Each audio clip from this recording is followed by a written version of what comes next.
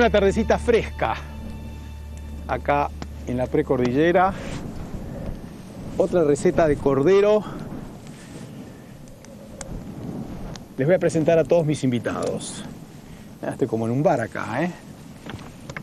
Tengo un gigó de cordero, una pata de atrás de cordero, un cordero chiquito, delicioso.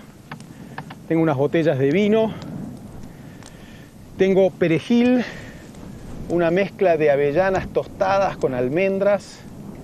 Tengo romero, orégano, todo fresco. Salvia, tomillito, manteca, porque voy a hacer un puré, y papas. ¿Qué tengo acá en mi fuego? Está lindísimo, voy a traer mi banquito acá. Así puedo conversar con ustedes y contarles todo lo que vamos a hacer. Una receta de Germán Martitegui, un gran cocinero argentino que trabajó unos años conmigo y a quien le tengo mucho cariño y respeto. Un cordero que lo llamamos siete horas y media. ¿Ustedes se acuerdan de esa película Nueve semanas y media? Que era, bueno, era bastante especial. Y lo tengo acá en este caldero. Tengo uno hecho ya porque obviamente no vamos a esperar tantas horas. Está bárbaro, ¿eh? Está lindísimo. Eh, es un cordero que lo cocinamos al Malbec, ¿eh? Eh, así amablemente, suavemente, lentamente durante siete horas y media con todas estas verduras y una mezcla de hierbas.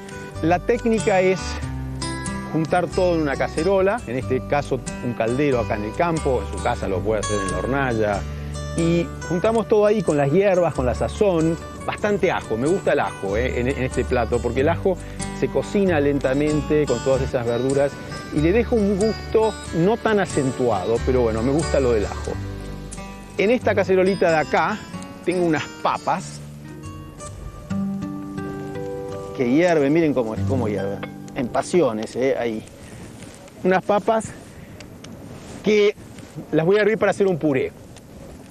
Cuando pienso en puré, automáticamente voy a Francia y recuerdo ese restaurante maravilloso que existió en la calle Rue de Longchamp, en el Cartier 16, donde Joël Robuchon, el gran cocinero del siglo pasado, indiscutido, hacía un puré maravilloso. Yo ya se los he contado, pero no me canso de contar que él usaba un kilo de papas y un kilo de manteca.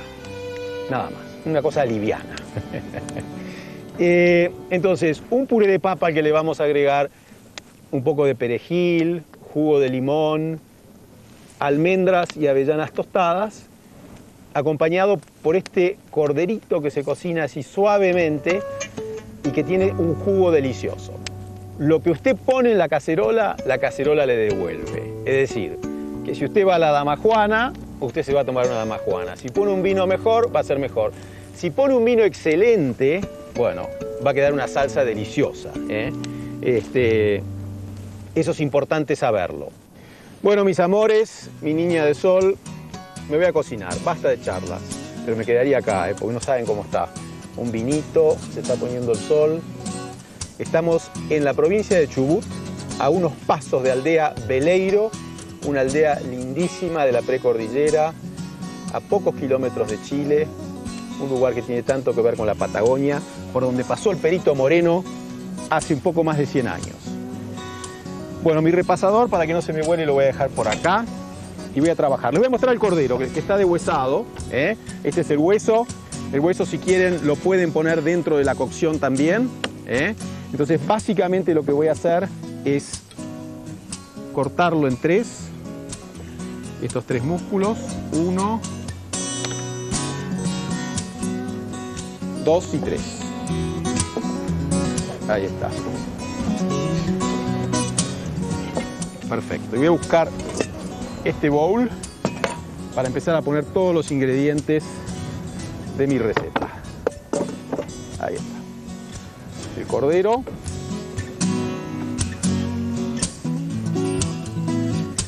Voy a poner unas cebollas, las voy a cortar así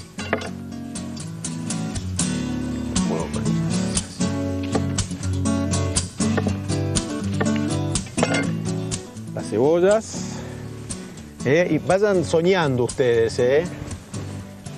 Estos lindísimos puerritos verdeos que tengo acá.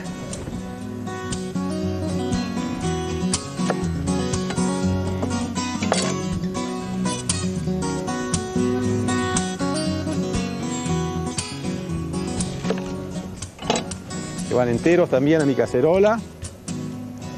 Un par de zanahorias.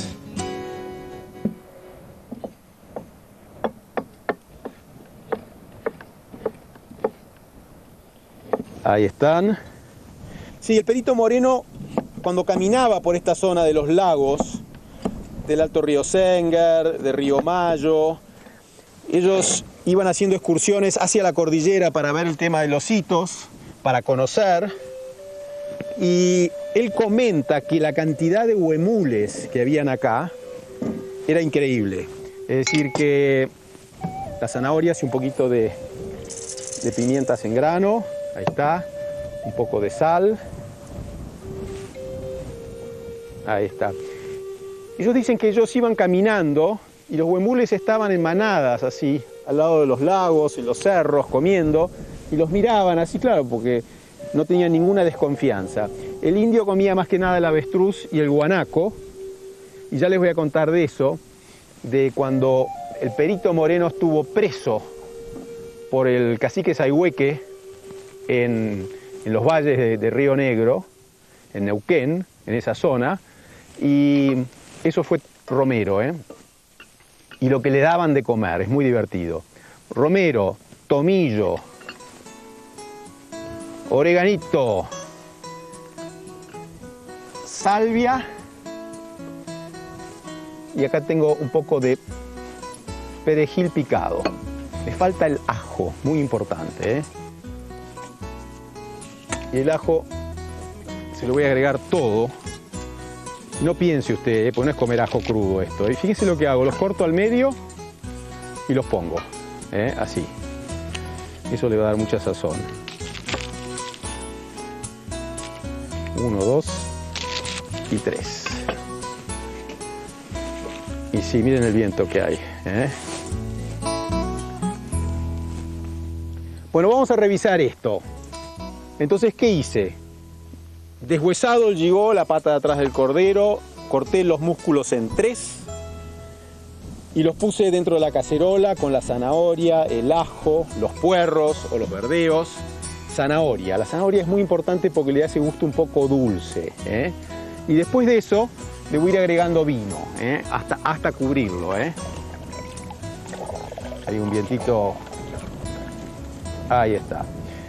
Entonces lo que hacemos es, le agregamos vino hasta que lo cubrimos y después va al fuego. Para que digan que soy generoso, yo no lo voy a hacer porque no quiero gastar mucho vino hoy, pero una pata de cordero, 3 litros de vino, 4 litros de vino si son muy generosos. Porque eso lo vamos a reducir durante 7 horas y media, bien despacito, bien despacito, y así lograr ese juguito que van a ver en tu ratito cuando yo sirva ese cordero con el puré.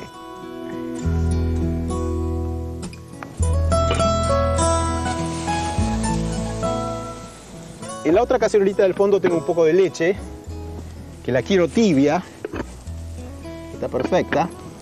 Sí, el cordero ya lo voy a sacar porque está listo. Ahora, ahora lo van a ver. No quiero que siga reduciendo porque la salsa ya está bastante reducida. Voy a poner unos palitos más. No me muero de frío después. ¿eh?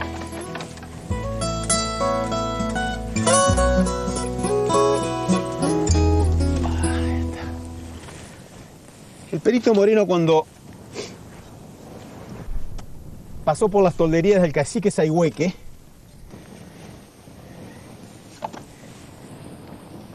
el cacique lo recibió muy bien y el perito le pidió permiso para irse hasta Chile, porque quería llegar a Chile. Y le fue negado el permiso, le dijeron que no. Le dieron tres días de permiso para ir a conocer el lago Nahuel Huapi y fue él, de alguna forma, el que descubrió el lago Nahuel Huapi. Y curiosamente, muchos años después, el presidente argentino le cedió tres leguas de tierra sobre el lago a el Perito Moreno. Y él al poco tiempo, en lugar de quedarse con esa tierra, la donó para fundar el primer parque nacional que hubo en la Argentina, que fue el Parque Nacional Nahuel Huapi, que todavía existe. Y bueno, un ejemplo, ¿no? Un lindo ejemplo, porque en lugar de quedarse con esa tierra, este, la donó y comenzó el primer parque nacional. Bueno, vamos a sacar las papas. Acá las vamos a sacar así. Vamos a nuestra mesa acá.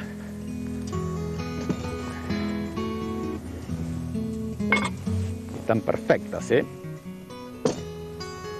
Voy a sacar un poco el agua primero. vamos a sacar así el agua.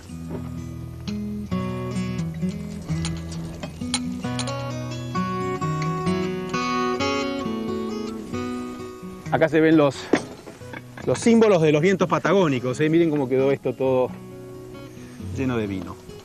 Bueno, la vida al aire libre es así. Voy a buscar acá las la leche.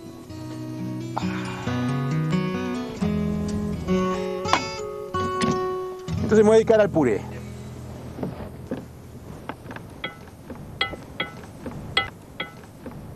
Es muy importante hacer esto cuando la papa está muy caliente, ¿eh?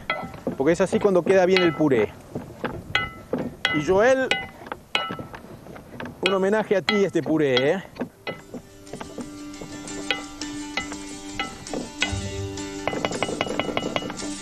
Bueno, entonces le voy agregando la leche y la manteca, ¿eh? Así, un poquito de manteca. No demasiado, ¿eh?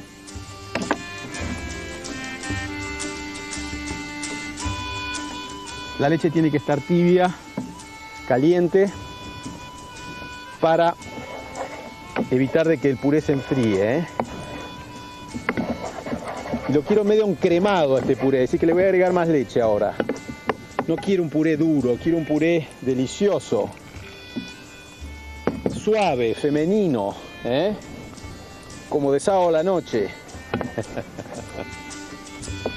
Miren cómo se va tragando toda la, la manteca.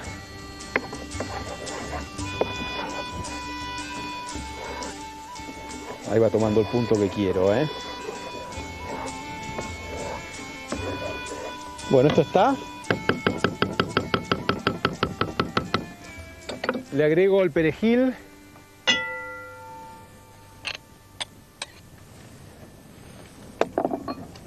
las almendras con las avellanas tostadas,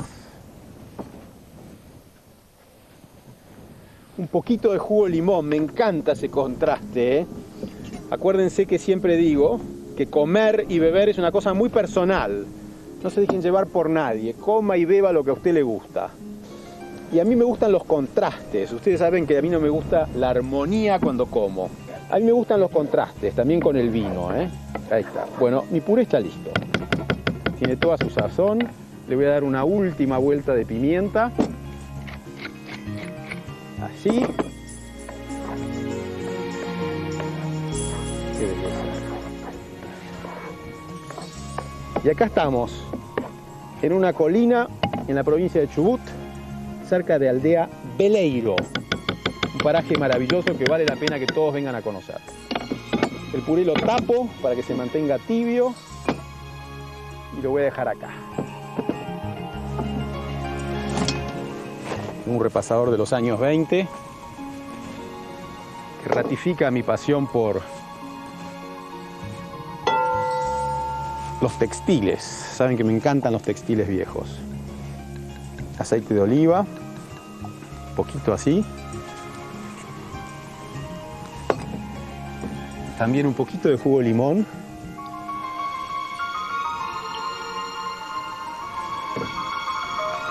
Le voy a poner un poquito de perejil picado.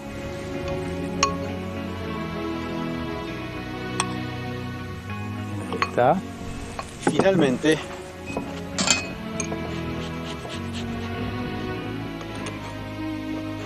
dentro de mi aceite. Bueno, listo. Acá está, para que lo vean cómo está. ¿eh? Esto es lo que quiero. Ese perejil con juguito de limón, aceite de oliva y ahora unas vueltitas apenas de pimienta. ¿eh? Ahí está. Sí, imagínense el gusto de esto. Va a ser un lindo contraste en el cordero. Estamos listos, tenemos todo. El puré, el juguito de perejil con aceite de oliva, limón y cáscara de limón. El cordero está listo, se cocinó siete, siete semanas y media, no, siete horas y media. Y vamos a servir. Tengo mi plato acá. Voy a servir primero el puré.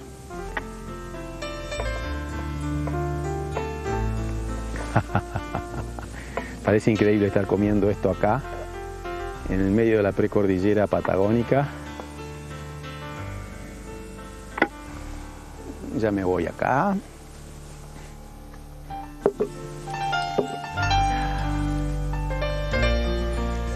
¿Qué quiero? Una copa de vino. Una copa de vino.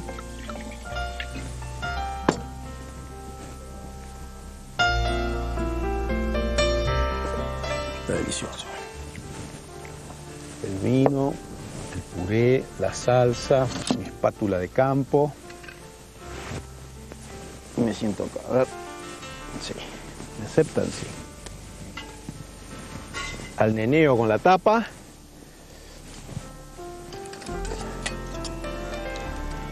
Y me voy a servir el cordero. Van a ver lo que es esto. ¿eh?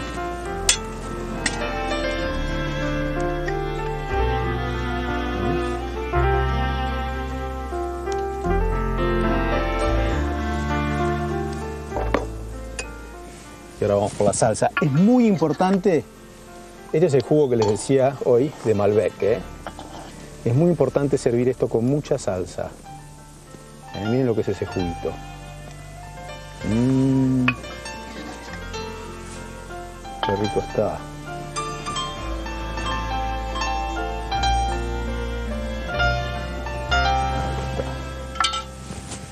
Esto vuelve así. Lo voy a terminar con un poquito del perejil. Germán, me acuerdo de vos cuando hiciste este plato por primera vez en Patagonia Salguero. No sé hace cuántos años. Eh, y miren cómo está esto, ¿ven? Ven que queda hasta como un poquito rosado, ¿eh?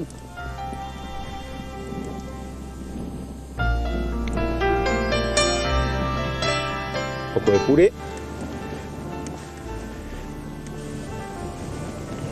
y una cucharada. Es hora de comer. Mm.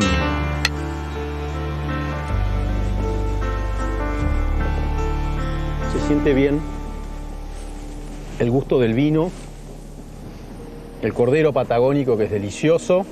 Acuérdense que para mí es de los corderos más ricos, un cordero que camina mucho, que es muy natural, que, bueno, ustedes lo vieron caminando por acá.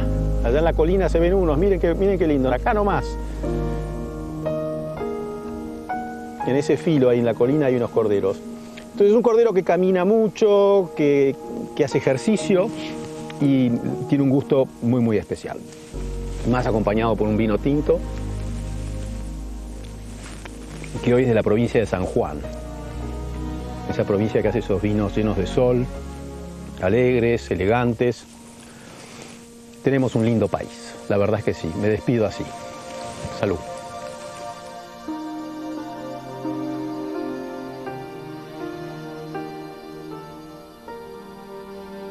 Hay un épico romance y atónita belleza de lucha y entrega en el hombre que va a la conquista de aquello que sabe inconquistable el hombre que será vencido pero que camina con paso implacable hacia su destino fatal. Cuando lo vemos pasar en su aparente inútil conquista, podremos decir, allí va, arropado en sueños vanos. Solo él sabrá, en nuestra ignorancia, que ser vencido cobija dignidad y que las armas manchadas de tristezas llevan el silencio de la pasión y de un amor que será siempre desconocido por los demás. Desconocer un posible amor es una pérdida fatal.